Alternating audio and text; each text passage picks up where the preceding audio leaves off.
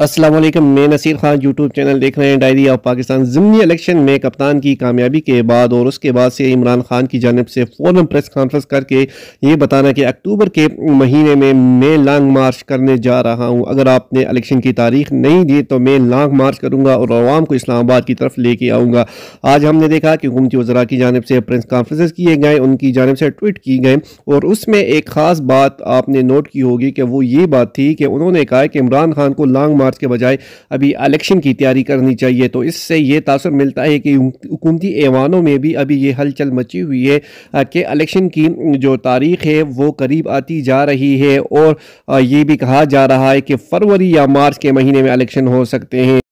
Army chief की तैनाती के बाद से तमाम चीज़ें वाजी हो जाएँगी और नवंबर में आर्मी चीफ की तैनाती का मामला भी हल हो जाएगा। हुकूमती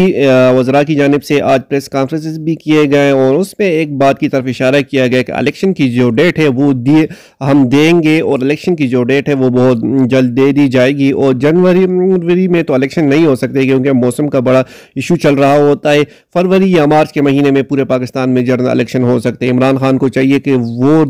लॉन्ग मार्च के बजाय अभी इलेक्शन की तरफ़ जाए और इलेक्शन की तैयारी करे। इससे ये पता चलता है कि पाकिस्तान मुस्लिम लीग नून को अपनी शिकस्त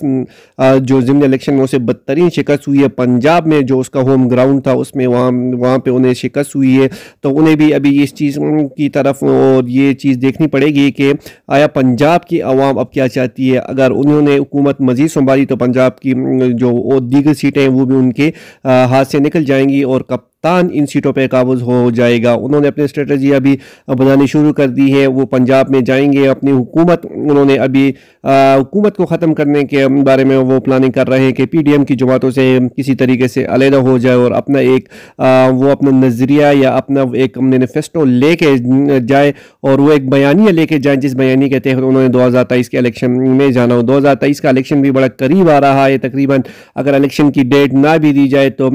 छः सात महीनों के बाद बाद इलेक्शन हो जाएँगे और अगस्त के महीने में ये हुकूमत की जो टिनोर है वो पूरी हो जाएगी। तो लगता यही है कि पीटीएम की जमातों ने भी एक दूसरे से अलीदगी का जो सोच रहे हैं, रात को आपने देखा, वसीम अख्तर ने भी कहा कि पीटीएम के साथ